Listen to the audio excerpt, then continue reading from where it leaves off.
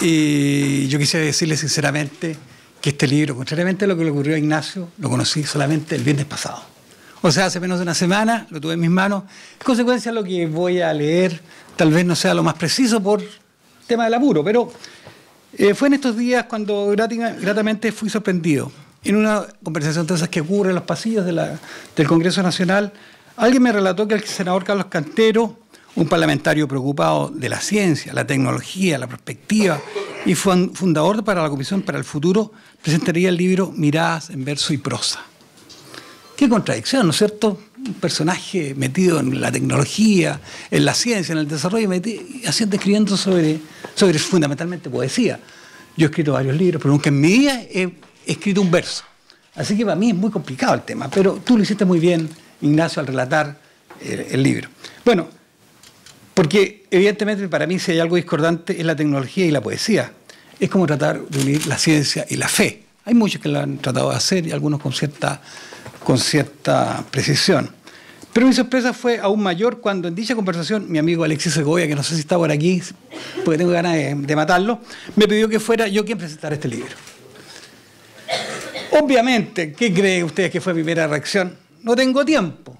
Esto va a ser en martes, hoy día estamos a bien, no se bien el fin de semana, que no es ni siquiera largo. Estoy medio complicado, pero bueno.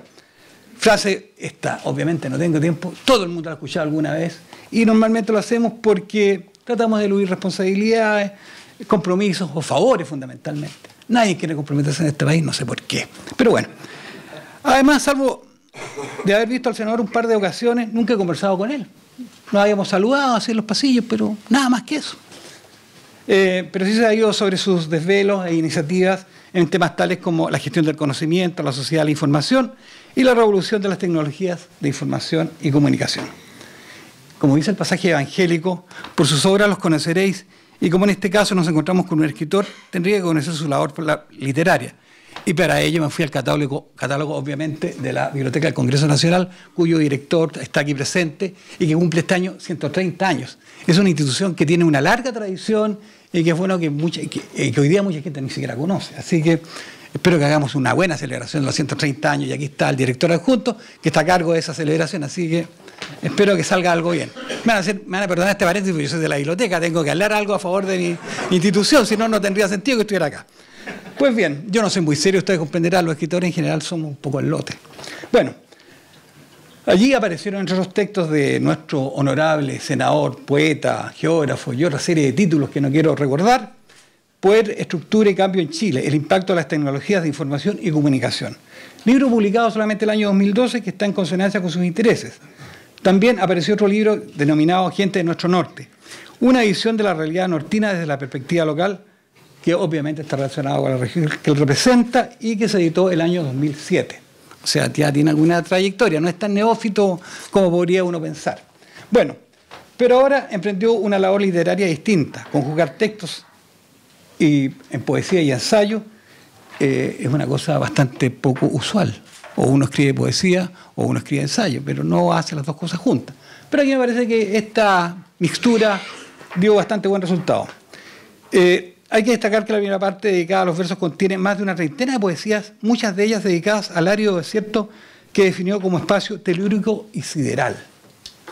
Y que concluye señalando que son parajes domados por hijos de dioses.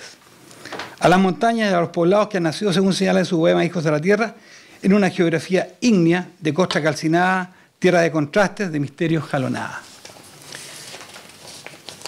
Esta primera parte del libro, Miradas en verso y prosa, se destaca por la belleza de sus coloridas imágenes relacionadas con cada uno de los poemas incluidos allí. Es una cuidadosa selección donde destaca una fotografía del cono perfecto del volcán, volcán con sus 5.900 metros de, altura, cuyo nombre en idioma atacameño significa montaña del pueblo y ahí aparece junto a este volcán una anciana pobladora del lugar con el poema Abuelos Ancestrales, que dice así, entre volcanes y salares, montando la dorsal andina, rostro de piel curtida, atesoran sabiduría. Abuelos ancestrales de ritmo cansino, cotidiano homenaje al ancestro andino. La segunda parte del libro, denominada Miradas en prosa, son diversos ensayos relacionados con nuestro país y particularmente el mundo andino. En estos escritos nos faltan aquellos que dicen relación con temas coyunturales y actuales como son las problemáticas de la educación. Donde asegura ninguna institución académica, política ni filosófica en Chile ha tenido la fuerza moral para abrir un debate serio y fecundo para un tema de esta envergadura. En realidad el tema educativo siempre ha estado presente en sus obras. En su primer libro, Gente de Nuestro Norte, dedicó varias páginas al tema definiéndolo como motor de desarrollo. Los jóvenes no pudieron estar ausentes, no pueden estar ausentes hoy día en cualquier ensayo eh, que se escriba sobre nuestra tierra. Un capítulo se denomina La juventud de los grandes desafíos.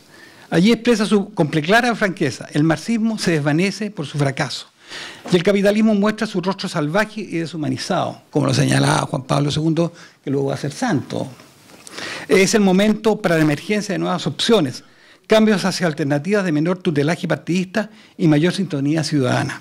Agregando, ya no es el tiempo de lucha de clases, ni del odio, ni la confrontación bastarda. Siguiendo la huella imborrable de Andrés Abela, Mario Bamonde, Hernán Rivera, Andrés Garáfuli, Sofanor Toar, el autor de La Burrerita, ganadora del, Festival de la Canción de Ña del Mar hace algunos, algunas décadas. Héctor Pumarino Soto, Soto, un autor notable allá en la zona de Calama, que escribió Leyendas Andinas, algo así. Muy buen libro. Salvador Rey y otros tantos que han escrito sobre el área norte chileno, nuestro autor dedica varios artículos a la dramática situación de las comunidades andinas de la provincia del Loa. Particularmente es interesante su descripción de la celebración de la limpia de canales, una de las festividades más significativas de aquellos pueblos andinos que se realiza en honor a la Pachamama. Yo no sé por qué en el libro aparece el término Pachamama. Espero que nos explique el porqué de esa. A lo mejor es un error de, imprenta, pero en fin. Eh, que tiene un papel integrador y que es un culto de veneración a los abuelos, que los citadinos muchas veces olvidamos o relegamos, o relegamos a fríos hogares de ancianos donde vegetan hasta el fin de sus días. Esa es nuestra realidad hoy día y va a ser peor con el tiempo. En las páginas del libro aparece una iniciativa que, impedido por las normas constitucionales, no puede implementar. Es la creación de la comuna de Alto Loa, que tendría por objeto llevar el progreso, los servicios y la integración a las comunidades andinas, tal como ocurrió el año 1980 cuando se creó la comuna de San Pedro de Atacama. Y yo tuve el privilegio de ser el primer periodista que llegó a esa comuna cuando el diario Mercurio me mandó a reportear para el cuerpo de hace mucho tiempo atrás. Estamos hablando del año 80 cuyo municipio se ha convertido en un motor para el desarrollo de una de las comunas más turísticas del territorio nacional. No solamente turismo nacional, sino también turismo extranjero. Eh, muchos son los aspectos de la realidad nacional y regional que Carlos Cantero aborda en las 130 páginas de este libro. Al finalizar, un tema que me parece audaz, bizarro e insólito. Ideas para un plan estratégico de la agricultura en el desierto de Atacama. ¿A quién se le puede ocurrir plantar algo en el desierto de Atacama? A él se le ocurrió. Eh, allí se encuentran algunos objetivos que podrían aplicarse para revertir la aridez de la región, que aunque parezca extraño, tiene una diversidad de cultivos, pero de escasa producción, como las hortalizas en la costa y los valles precordilleranos, alfalfa y choclo en el valle de Calama y algunos poblados andinos, yajo en Caspana y Río Grande, que por estos días va a celebrar la fiesta de Santiago Apóstol. Señoras y señores, en estas pocas líneas no es fácil sintetizar el inmenso caudal de ideas y de información que contienen las páginas del libro Miradas en verso y prosa del geógrafo y doctor en sociología Carlos Cantero Ojeda. Siento imposible dar cuenta de la totalidad de ellas. En estos tiempos que cada vez se lee menos, sus páginas pueden atraer a cualquier lector, pues la riqueza de sus imágenes lo hacen atractivo aún más allá de lo que digan las letras. Muchas gracias por haberme escuchado.